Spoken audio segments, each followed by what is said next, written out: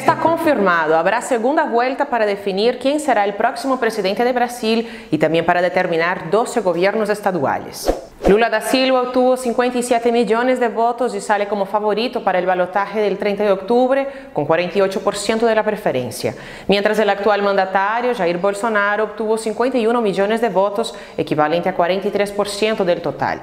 Además de tener una ventaja de cerca de 6 millones de votos, Lula ya recibió el apoyo del Partido Demócrata Laboral y de Ciudadanía.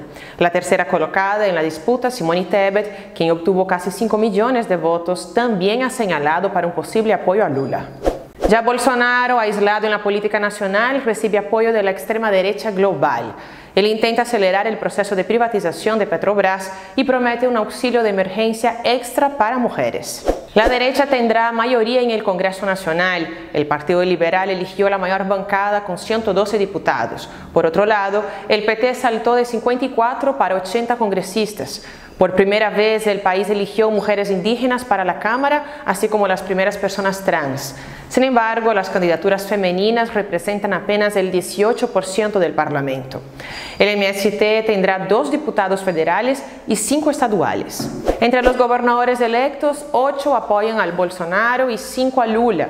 Fátima Becerra ya era la única mujer gobernadora y ahora fue reelecta en primera vuelta. Con ella, PT eligió tres gobernadores y tendrá cuatro en la disputa en segunda vuelta.